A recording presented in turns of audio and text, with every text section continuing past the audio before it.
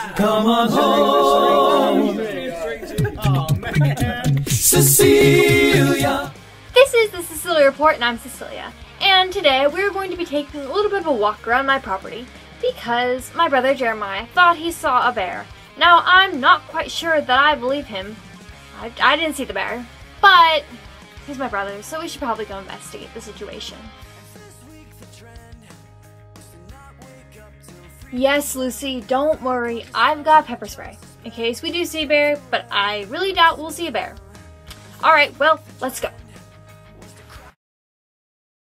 Alright, Jeremiah, I've decided that we are going to be able to cover a lot more ground if we split up, okay? Alright.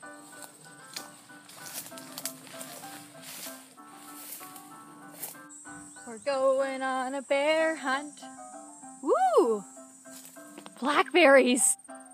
This is so good. This is way better than hunting for a bear. Mm, so good. Oh, look at that one. Uh, got it. Got it. Mm. My hair's stuck. Cecelia, Cecelia, I didn't find anything. Cecelia? Cecelia. Ah! A bear!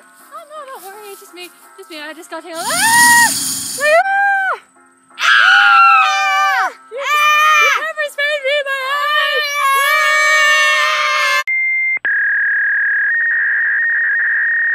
And now it's time for what to do when your little brother sprays you in the face with pepper spray, hopefully accidentally. Step 1. Do not touch or rub your eyes. Step 2. Blink quickly to stimulate tears. Step 3. Rinse with cold water for 3 to 5 minutes. Step 4. Wait. Pepper spray stings for a long time no matter what you do, so you better hope he didn't get you that bad. This has been the informational segment of what to do when your little brother sprays you in the face with pepper spray.